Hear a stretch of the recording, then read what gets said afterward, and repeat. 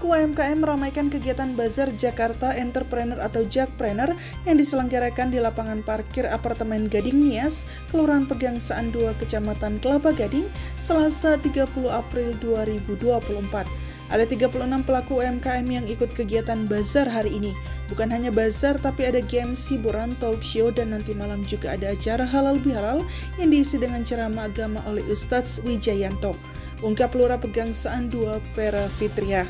Ia menjelaskan bahwa kegiatan bazar dan halal bihalal juga mendapat dukungan dari Sudin Perindustrian Perdagangan Koperasi Usaha Kecil dan Menengah atau PPK UKM Kota Administrasi Jakarta Utara, Manajemen Apartemen Gading Nias, pengurus RT RW di lingkungan RW 27, Pegangsaan 2 dan unsur lainnya.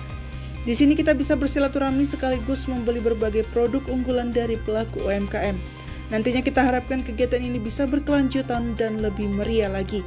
Ujarnya didampingi Kepala Seksi Ekonomi dan Pembangunan Kelurahan Pegangsaan 2 Fitra Seva. Tim Liputan Kominfotik Jakarta Utara melaporkan.